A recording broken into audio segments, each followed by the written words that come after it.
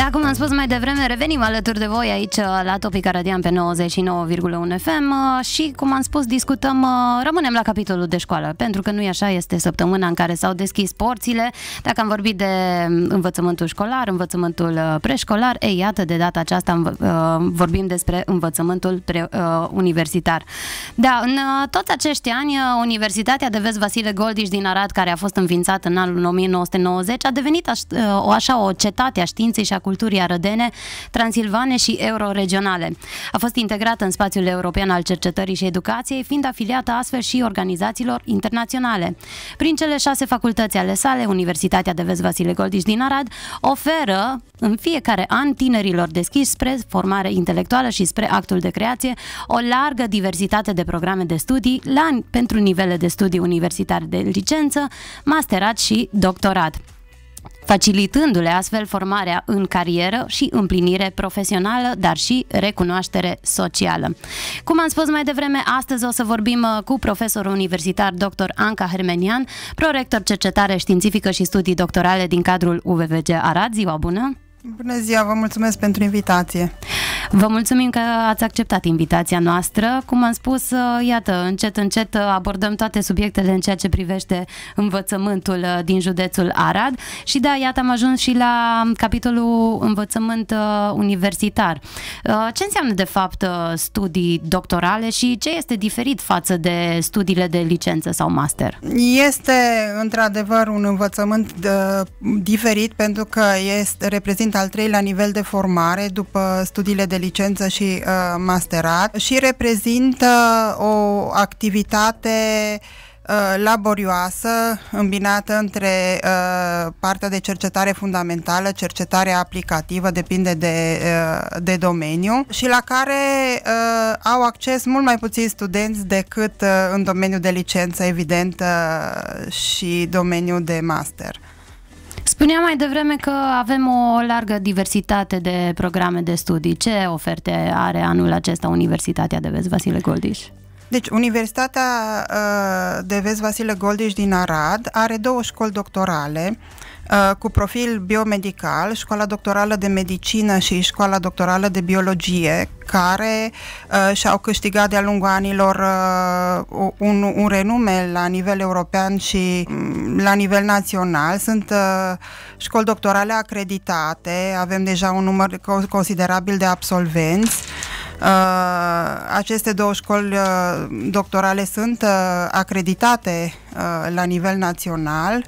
Uh, pot să vă spun că toți absolvenții au fost validați de către CNATCU și respectiv de către uh, Ministerul Educației. Am văzut chiar recent o, o, un astfel de, o astfel de uh, listă a, a absolvenților pe universitățile românești și am constatat cu plăcere că toți absolvenții din cadrul Universității Vasile Goldiș din Arad uh, au uh, primit diploma de doctor în, uh, în știință și nu foarte multe universități din România se pot mândri cu acest lucru. Deci viitorul sună bine.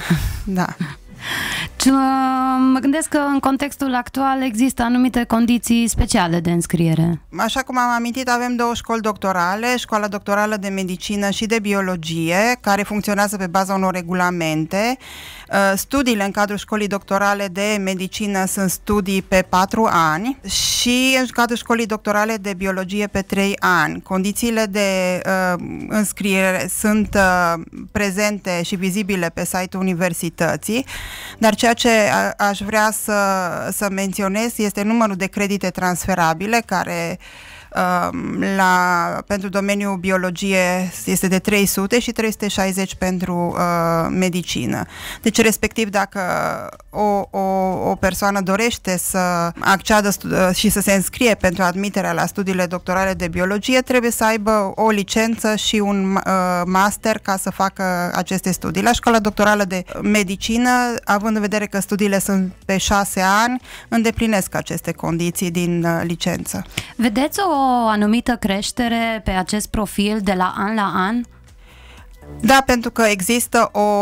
Uh, sunt încurajați de rezultatele pe care le uh, avem. A existat o preocupare continuă a conducerii universității și uh, a doamnei rector pentru a încerca să creștem calitatea acestor studii.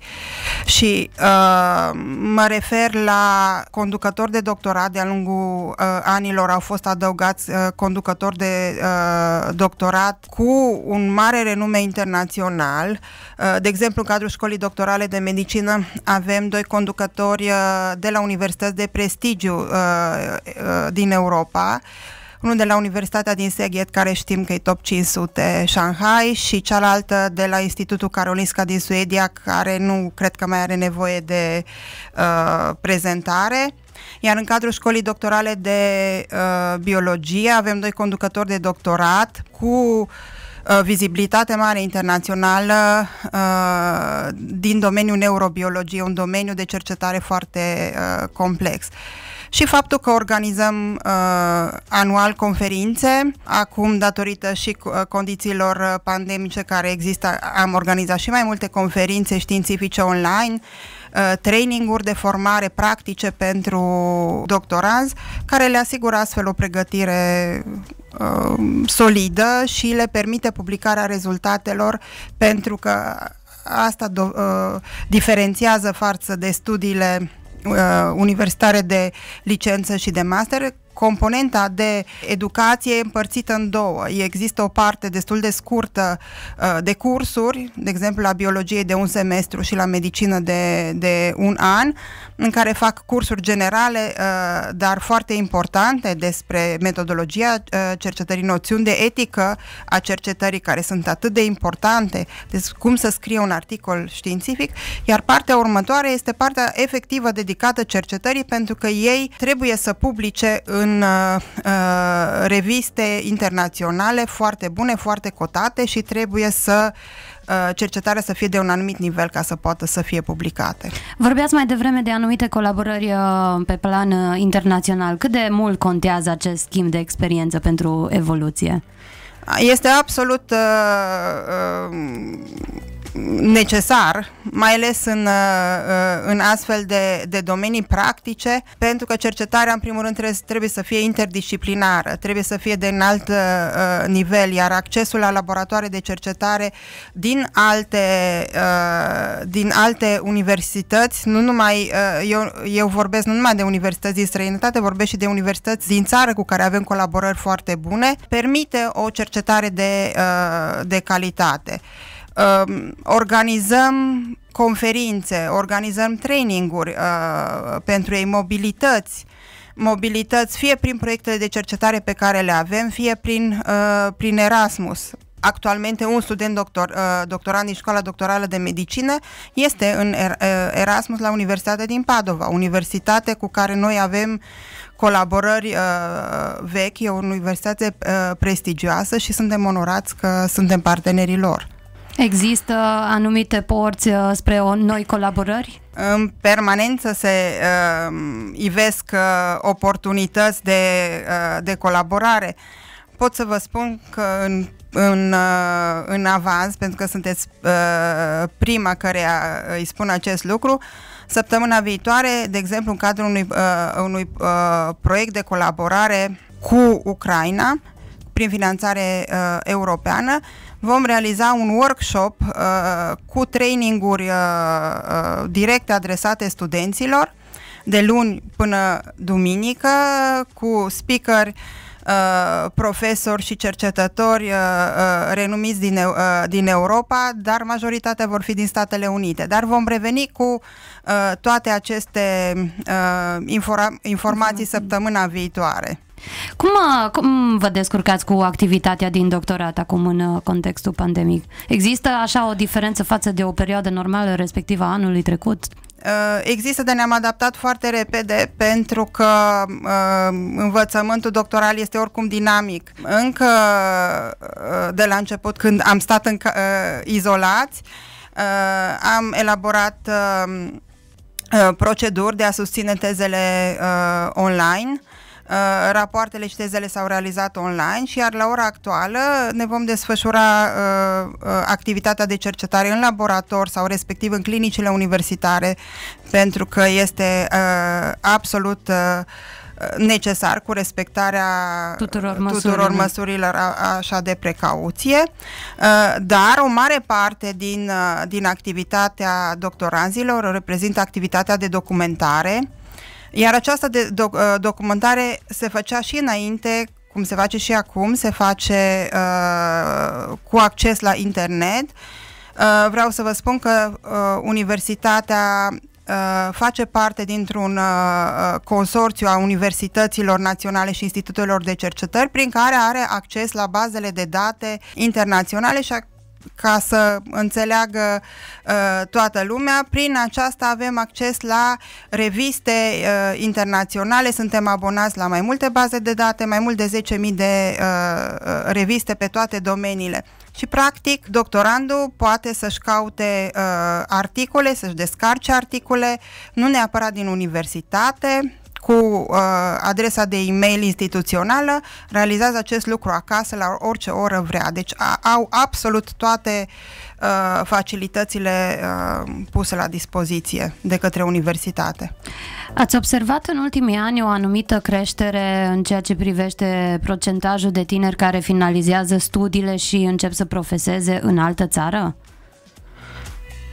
Băi, dacă ne referim la uh, doctorat, doctoratul da, deschide uh, oportunități pentru că fiind ultima treaptă de, uh, de formare crește plus valoarea și pregătirea uh, doctorazilor respectiv. Da, am avut doctorazi care uh, au plecat în uh, străinătate să, să profeseze în străinătate, avem doctorazi care sunt cadre medicale uh, și profesează în, uh, în, în România sau cadre universitare sau au plecat și lucrează în cercetare. Deci nu, e o... E un echilibru. Echilibru, da, zic că e un echilibru. Ce aveți în vedere pentru creșterea calității studiilor doctorale? Asta a, e o preocupare uh, permanentă pentru acest lucru, pentru că suntem uh, uh, obligați de condițiile de finalizare. Studenții noștri doctoranți trebuie să aibă articole publicate în reviste cu factor de impact, uh, Uh, și uh, pot să vă spun că ne, ne mândrim că în fiecare an crește calitatea uh, acestor articole și acest lucru este uh, dovedit și de faptul că toți au primit diploma de doctor în științe, iar uh, la finalizare comisiile de, de susținere a doctoratelor sunt, uh, sunt comise, comisii formate din specialiști din diverse universități din țară și străinătate. Și de fiecare dată uh, m-am bucurat uh, să aud din partea lor cuvinte de laudă la adresa doctoranzilor și a conducătorilor uh, noștri de doctorat. Ce facem pe, uh, pe scurt? Mai multe uh, cursuri, mai multe uh, traininguri care le diversifică programul lor de pregătire, uh, mai multă activitate de cercetare, Institutul nostru uh, de Științe ale Vieții Aurel Ardelean, care poartă uh, numele regretatului fondator, profesorul Aurel Ardelean, Încercăm să continuăm activitatea dânsului, diversificăm și dezvoltăm infrastructura de, uh, de cercetare și aș vrea să uh, amintesc, am uh, acreditat internațional un master de cercetare în limba engleză, pentru că asta este limba ști, uh, științei, trebuie să citească articole în limbi uh, de circulație internațională, în special engleză. Este un master de cercetare în, dom- în științe biomedicale Uh, la care uh, studenții uh, înscriindu-se pe, pe o perioadă de 2 ani, este un master de cercetare afiliat acestor școli doctorale, dobândesc abilități de practice de cercetare și practic sunt în, în contact cu conducătorii de doctorat care și predau în acest master încă de la încep, început și le este mult mai ușor uh, uh, ulterior să parcurgă studiile doctorale pentru că sunt deja uh, familiarizați cu tehnicile de cercetare din laboratoarele de cercetare. Doamna Hermenian, acum o întrebare puțin mai personală. Mă gândesc că și dumneavoastră a spășit uh, pe acest drum. Cum a fost călătoria până la obiectivul îndeplinit? Pentru toți uh, este un drum greu, pentru că doctoratul nu este, uh, este ușor, dar este o provocare, o, sta- o ștachetă pe care fiecare uh, și-o uh, ridică, îi crește calitatea intelectuală, uh, cu suișuri și coborâșuri ajung la final și așa cum am fost și eu, văd în ochii fiecărui student doctorant emoția și bucuria că termină. Aproape uh, uh, toți, tuturor li se simte emoția în glas atunci când, uh, când finalizează. Este un lucru mă, măreț, frumos și întotdeauna ne, ne umplem de bucurie în momentul în care uh, finalizează un uh, doctorant și uh, de mândrie că a terminat la universitatea noastră. Mă gândesc că este și poarta care deschide drumul spre viață. Da, așa este. Ce putem să le transmitem celor care pornesc pe, în această călătorie? Să analizeze, să gândească bine. Dacă își doresc să realizeze acest lucru, pot să vină cu încredere la universitatea noastră, pentru că calitatea și rezultatele noastre o dovedesc cu prisosință.